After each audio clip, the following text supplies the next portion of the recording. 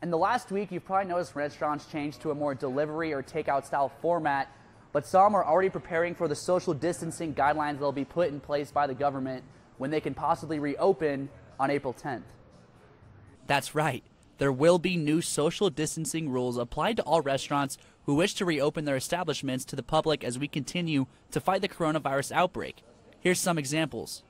Only the restaurants and businesses that follow the Montana and the CDC guidelines, so six feet apart on tables.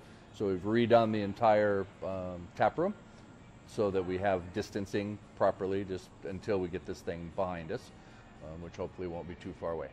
But until that date of April 10th, where restaurants and breweries will potentially be able to open their doors, this brewery is in the same situation as many other of its kind in the Magic City.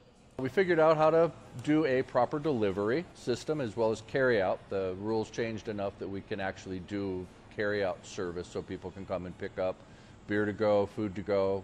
Did he say beer? That's right, people of Billings. For the time being, Montana breweries are being allowed to deliver packs of canned craft beer as well as growlers. We're also able to serve not only for BAM, for by all means, but we also have all of uh, Uber Brewery in town and the Field Houses menus that we can deliver out of here since we're all in the same group. So if you're looking to have some delicious food delivered to you or even beer, contact your local brewery.